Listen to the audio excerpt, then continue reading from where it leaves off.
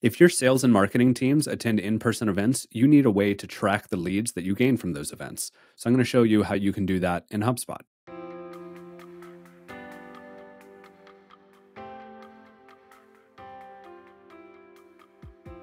I've created a custom object for events. So this is an example of a, an event record page. And on the left-hand sidebar, you can see a description of the event, the start and end dates of the event. If there are attendees on your team, you can put user properties for each of those team members. There's also sponsorship details if you're sponsoring the event and a budget property, as well as an influence revenue property, which I'll get into more later. On the right sidebar, you can see contacts who attended the event. And we've used association labels to distinguish between contacts who just attended, maybe they came from a lead list that you got from the organizers, versus contacts who actually met with sales at the event. So you can see see those labels at the bottom there. In addition, we've also associated any deals that resulted from the event or were influenced by the event.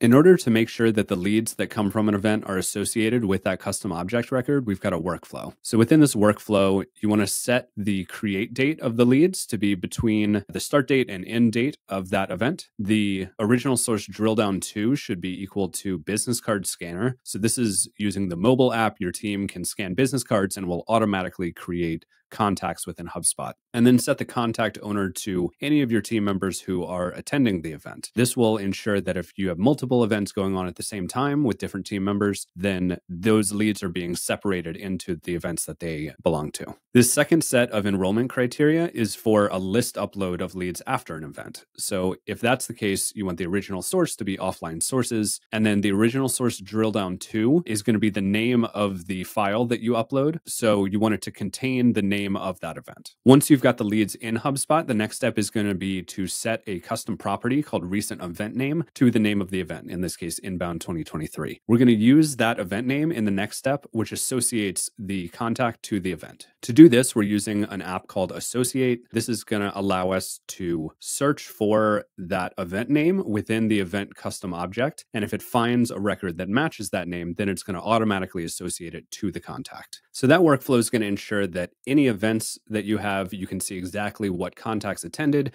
And on the contact record, you can look and see what events that contact has been to. But we're going to take that one step further and we're going to associate events with revenue. So this is another workflow. This can be built into any workflow that you use to create a deal record. In this case, I've just set the enrollment trigger to sales qualification is any of accepted. And then we're going to use this create record action. You're going to set the type of record to a deal, can assign it to a contact, give the deal a name. And then down here, you can see we are copying two properties from the contact record onto the deal record. The first is going to be that recent in person event. That's going to ensure that on the deal record, you know exactly what the last event someone attended was before the deal was created. I've also got a recent in person event date. That's another custom property that you can set in order to understand how long ago they actually attended that event. Additionally, when you create the deal, you can automatically associate records that are matched with the contact onto the deal record. So we've already got companies checked, but if you look further down, you can see events associated to the enrolled contact.